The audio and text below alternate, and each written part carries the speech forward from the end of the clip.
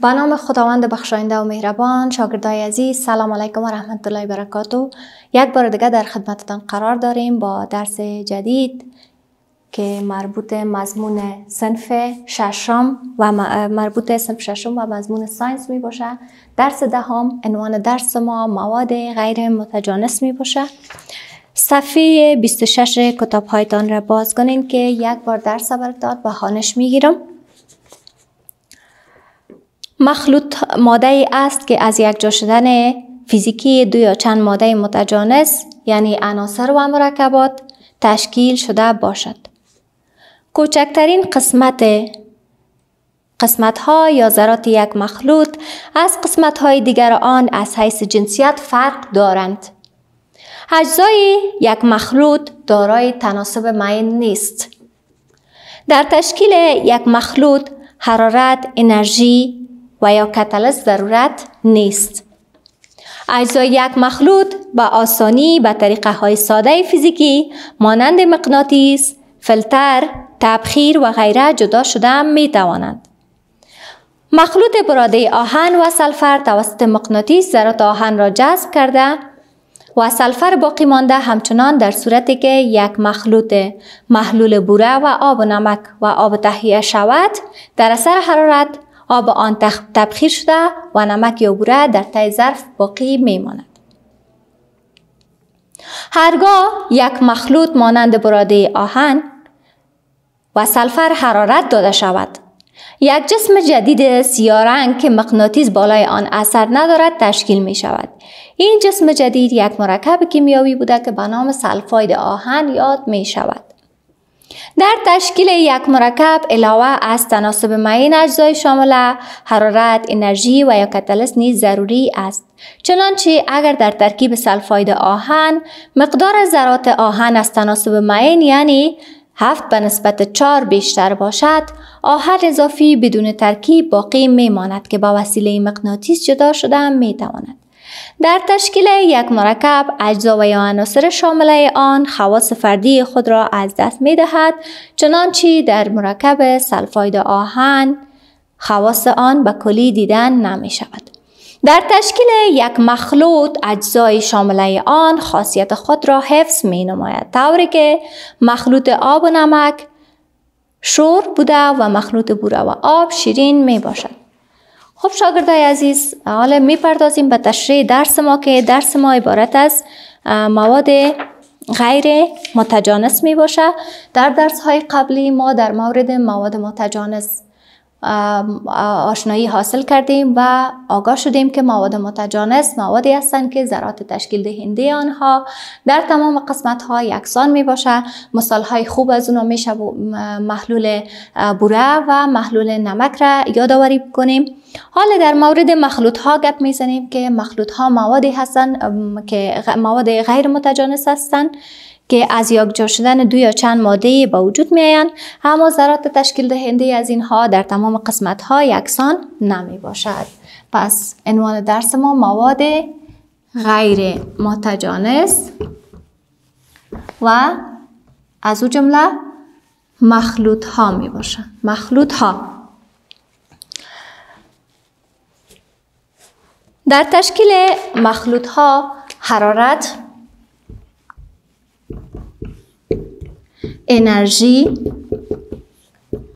کتالست ضرور نیست. ضرور نیست. یعنی چی؟ زمانی که یک مخلوط تشکیل می شود در تشکیل از او به حرارت ضرورت نداریم. چون تعامل کیمیایی صورت نمی‌گیره. بنان ما بر از او حرارت نمیتیم و همچنان کتالست هم ضرورت نیست. کتالست شاگردای عزیز کتالست ها موادی هستند که سرعت تعاملات کیمیایی را یعنی اتم ها را کمک می‌کنند که با همدیگر تعامل کنند و مرکبات تشکیل کنند بنابراین در تشکیل مخلوط ها نیاز نیست که ما از کتالست استفاده کنیم.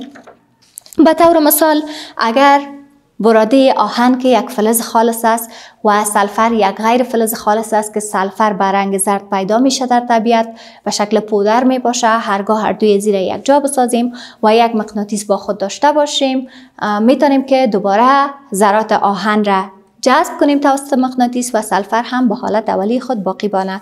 و یا مثال های دیگه زیاد گفته می‌تونیم که در خانه ها هم از خوراکی های مختلف استفاده می‌کنیم که اونا را مخلوط بسازیم. پس می‌تونیم که همدیگر را یک جزء از جزء دیگهش جدا بسازیم. به دلیل ای است که مخلوط ها نیاز به حرارت انرژی و کتالیست ندارن.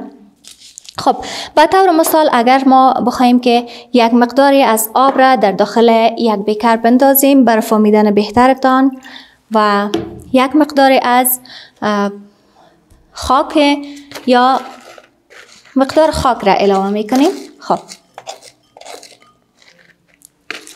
حالا قدر تلاش کنیم و ای را حل بسازیم بعد از چند دقیقه می‌بینیم که خاک دوباره رسوب می‌کنه و آب هم در قسمت بالا قرار می‌گیره.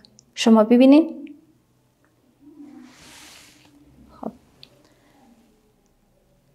برای جداسازی از این نوع مخلوط ها ما می‌تونیم که از کاغذ فلتر استفاده کنیم و این مخلوط جدا بسازیم و آب دوباره به دست بیاریم. و همچنان اگر ما برای مخلوط سلفر و آهن حرارت بدیم مرکب تشکیل می شود که نام او مرکب سلفاید آهن است که به سمبول Fe سلفاید یعنی که نام لاتین آهن فریم است نام انگلیسیش آیرون نام لاتینش فریم از نام لاتین گرفته شده سمبولش که Fe می باشه حرف اولش بزرگ حرف دوم کوچک و سلفر هم دارای سمبول S می باشه که سلفاید آهن ساخته میشه. در او صورت باز ما گفته نمی‌تونیم که مخلوط است بلکه یک مرکب به وجود میه که در اینجا تعامل کیمیاوی صورت می‌گیره و از حالت خاصیت از یعنی در تعاملات کیمیاوی خواص اولیه مواد باقی نمیمانه کلا مواد جدید تشکیل میشه.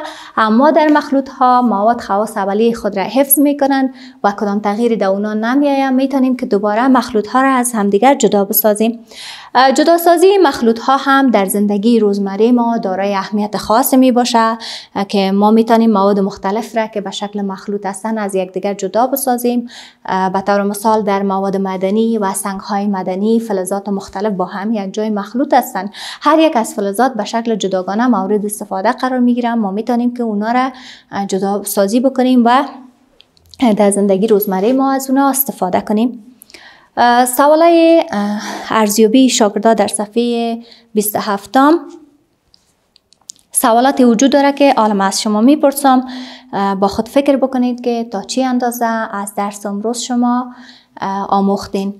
بسیار خوب. سوال اول است مخلوط عبارت از چیست؟ تعریف مخلوط پیدا می‌کنین و اگر در کتابچه هایتان نوشته کنین بهتر است. در تشکیل یک مخلوط خاصیت اجزای شامل آن چگونه می باشد؟ ایره هم پیدا کنین. جوابش فرق بین یک مخلوط و مرکب چیست؟ تفاوتی که بین مخلوط و مرکب از شاگردای عزیز شما فکر کنین.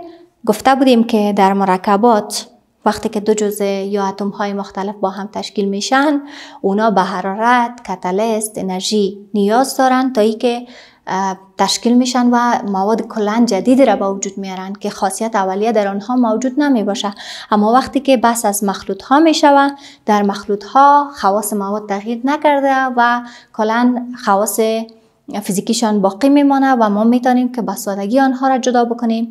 طریقه های جداسازی مخلوط ها به شکل های به اشکال مختلف صورت می‌گیره که یکی از اشکال ما می‌تونیم که اشکال مختلف نام ببریم. خب به اشکال مختلف جدا سازی مخلوط ها مخلوط ها صورت می‌گیرد. خب از این جمله اشکال ما می‌تونیم که بگوییم یکی از طریقه ها فلتر کردن است. را یادداشت کنین که در کتابتان نیست به خاطر معلومات بیشترتان برتان میگم شاگرد عزیز. در می صفحه کتاب گفته نشده. طریقه فلتر کردن است. یکی از طریقه های جدا کردن مخلوط ها طریقه دیگری تبخیر است. تبخیر. که ما حرارت میتیم به طور مثال گفتیم که زمانی که نمک در آب منحل است یعنی در آب ابهار شور می باشه و نمک از او به دست میارن با وسیله تبخیر یا بخار دادن صورت می‌گیره که آب از او به بخار تبدیل میشه و نمک رسوب می‌کنه. به شکل جامد نمک سودیم کلراید به دست میاریم طریقه فلتر کردن بود طریقه تبخیر بود و طریقه دیگه هم وجود داره که عبارت از تقدیر می باشد که تقدیر هم به شکل قطره قطره جدا ساختن مخلوط ها می باشه که نظر به درجه غلیان یا درجه جوششان. یک مخلوط از مخلوط دیگر جدا می سازیم. خب شاگردای عزیز ببینین یکی از در قسمت کار خانگیتان از نیل توتیا یادآوری شده که شما چون حضور ندارین که مواد در دسترستان قرار بدیم ما می‌خواهیم که در آخر درس به خاطر معلومات بیشترتان از نیل توتیا استفاده کنم و شما ببینین که چه قسم یک شکل را داره و چی رنگ داره و بر ما شما جواب بدین و بگوین که آیا این یک مخلوط متجانس است و یا غیر متجانس است. خب شما ببینید در این بوتل مقدار نیل توتیا وجود داره که رنگ نیل توتیا هم به این شکل می باشه. خب نیل توتیا را در داخل یک بیکر علاوه می کنیم. یک مقدار آب هم این حل می سازیم.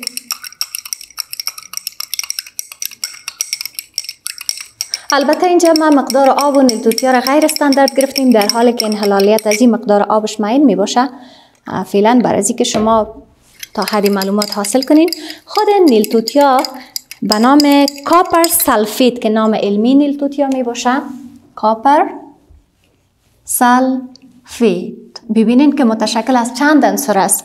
copper سمبول مس است. copper sulfate. سلفر و چهار اتم اکسیژن می باشه که copper sulfate است ساخته. وقتی که در آب حل می کنیم از شما پرسیدم که آیا این یک مخلوط یا ماده متجانس است یا غیر متجانس است؟ وقتی که کلان در آب حل میشه معلوم دار که یک ماده متجانس می باشه و در تمام قسمت ها خاصیت از یکسان است. هرگاه ما بخواهیم که نیل توتیا را دوباره به دست بیاریم حرارت میتیم. وقتی که تبخیر کرد آب از به بخار تبدیل میشه. اما خود ذرات نیلتوتیا باقی میمانه و دوباره ما او را می‌تونیم که به دست بیاریم به بسیار سادگی. یعنی همونطوری که محلول نمک آب گفتیم به طریق تبخیر به آورده می‌تونیم نیلتوتیا را همچنان می‌تونیم به دست بیاریم. خب امیدوار هستم از درس امروز خسته نشده باشین. درس ما تا همینجا بود. تا درس بعدی شما را به خداوند می سپارم خدا نگهدار.